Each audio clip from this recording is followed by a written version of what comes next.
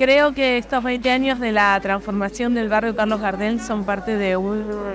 de un hito de nuestra gestión, eh, donde logramos em, articular